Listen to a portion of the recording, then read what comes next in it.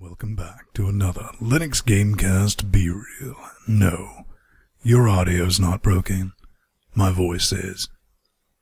Epic read today. Epic. Well, it was long.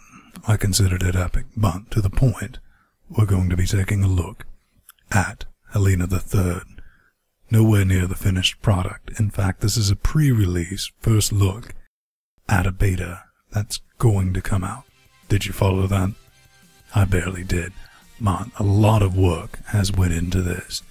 The lighting's been improved, better graphics, and you genuinely don't see a whole lot of 2D, 3D shooters on there. Now, this was inspired by Master Blaster, so if you're familiar with that, you'll know exactly what's going on. And keep in mind, this is still in early beta, nowhere near finished product, but I think it looks pretty good. Hopefully you will too. So, let's go.